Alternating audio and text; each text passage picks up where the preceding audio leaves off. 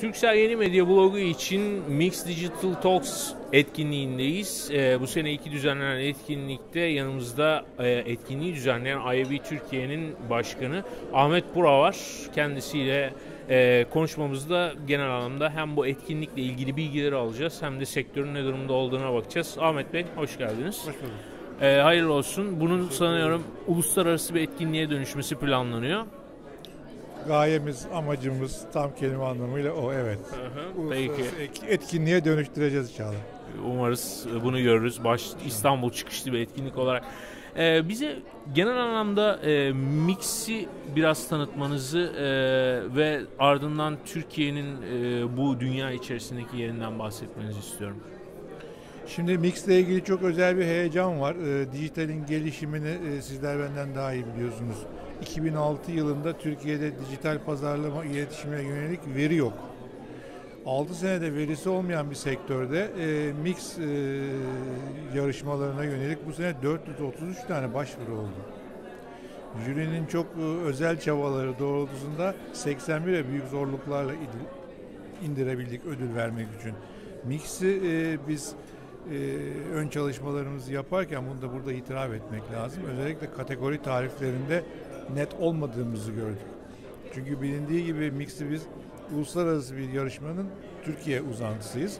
Oradan aldığımız tariflerle ve e, regülasyonlarla bu işi yönetmeye çalışıyoruz. Orada da bunun net olmadığı ortaya çıktı. Şimdi yeni bir e, çalışma grubu kurduk. Bugünden itibaren çalışma grubu e, çok sık aralıklarla toplanıp onu netleştirecek ve dünya genelindeki mixlere örnek olmak adına bir çalışma yapacak. Hı hı. O da İstanbul'dan yola çıkan yeni bir e, çalışmadır. Evet. Ben özellikle dijital sektöründeki tanıdığım, bildiğim bütün e, katılımcıların, arkadaşların zekalarının boylarından yukarıda gittiğini görmenin huzuru ve mutluluğu içinde bunları başarabileceğimize inanıyorum. İyi, ne güzel. Bir yandan da oldukça zorlu bir dönemde başkanlık yürütüyorsunuz. Çünkü dijital diye özetlediğimiz şey de kendi altında demin de bahsettiğiniz gibi onlarca kırılıma ulaşıyor. Eminim yani e, uzun süre bu dijital terimini de kullanamayacağız. Yani yakın gelecekte bir sürü başka terimleri bulmamız gerekecek. Yetmeyecek çünkü bu genel şapka. Peki Türkiye bu dijital platformda e, işin neresinde reklam e, gelirleri olarak, reklam vereni olarak ve kullanıcıları yani reklam veren jargonundaki tüketiciler olarak? Şimdi benim e, istatistik hocam e, Profesör Haluk Cillov e, buradan saygıyla e, selamlarımı iletiyorum. Derdi ki bize e, istatistik yalancılık ilmidir. Nereden bakarsan oradan mutlu olursun. Şimdi ben yıllardır bunu kullanıyorum. Şimdi baktığınız zaman 2006'da verileri bile bilinmeyen bir sektör 2012'nin e, sonunda 1 milyarı aşan bir Türk lirası bazında ciroya ulaşacak. 2016'nın sonunda da 1 milyarı aşan dolar cirosuna ulaşacak. 5 milyar dolar reklam yatırımlarının toplamını düşünürsek 2016 ile ilgili zaten orada bir %25, 24 yakalanmış durumdadır. Bu çok önemli bir gelişmedir. Fakat bu gelişme ve büyüme kontrolsüz gelişiyor. Daha da önemlisi bugün hangi reklam verenden e, yazılı basın, e, televizyon reklamları, radyo reklamları konuşsanız hepsinde uzun uzun bu konuda e, tartışmalar yapabilirsiniz. Fakat dijitale emek veren insanlarımızın, buna derneğimiz de dahil, daha reklam verene dijitalin ne olduğunu ikna edemedikleri bir ortamdayız. Ama bir yandan da büyüyoruz.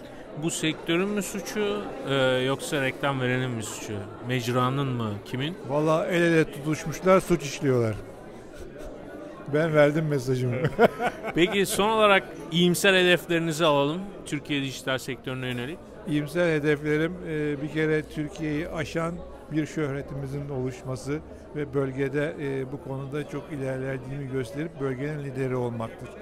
Ancak hayatın gerçeklerine geldiğimiz zaman bir kere dijital e, pazarlama iletişiminde emek veren herkesin karlı çalışmasını sağlayacak bir ortamın yaratılması lazım.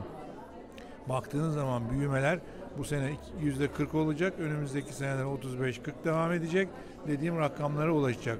Bunlar çok güzel gelişmeler ama denetimsiz ve karsız bir pazar gelişimi yarınlarla ilgili hem bu işe emek verenlere hem reklam verenlere sorun yaratır, yaratacaktır. O anlamda biz hem çalışanların, emek verenlerin hem de reklam verenlerin denetim ve karlılığı arttırma konusundaki bizim çabalarımıza destek vermelerini bekliyoruz.